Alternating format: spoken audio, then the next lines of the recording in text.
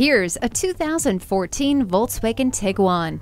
It's a small package so you can easily zoom around, but it's also ready for big things. It has the room for the fun stuff, with up to 56.1 cubic feet of cargo space, plus tons of great standard equipment like heated mirrors, keyless entry, multiple airbags, and stability and traction control.